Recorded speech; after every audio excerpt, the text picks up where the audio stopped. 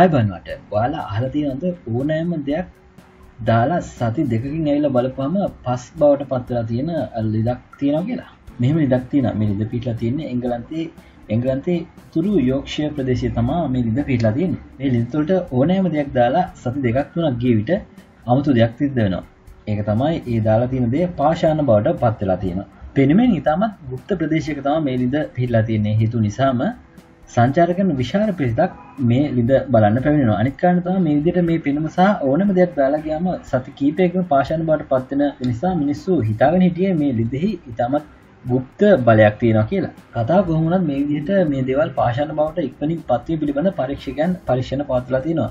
එහිදී හොයාගෙන තියන්නේ මෙහි ලිදේ පවතින ජල තුළ විශේෂයෙන්ම වෙනත් තැන්වලට වඩා සාමාන්‍ය ජලට වඩා අධික ලවන ප්‍රතිශතයක් මේ ජල තුළ අඩංගු නිසා මේ විදිහට මේ ද්‍රව්‍ය ඉතා එක්මනින් පාශාන බවට පත්වෙනවා කියලයි.